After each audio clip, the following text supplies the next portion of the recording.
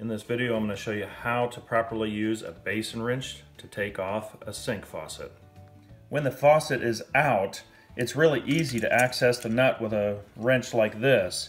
But when it's in the sink itself and it's got tubes everywhere, that's where something like this really comes in handy.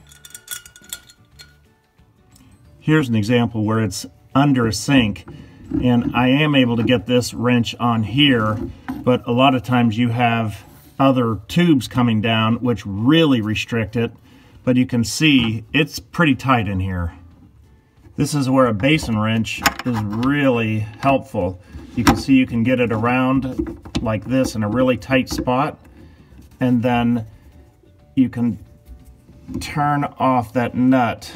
Now if you wanted to tighten up the nut you just turn the wrench around and use it to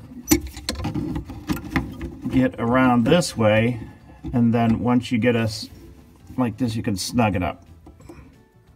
You can see that the handle extends down quite a bit and you have a lot of leverage to be able to work that nut out.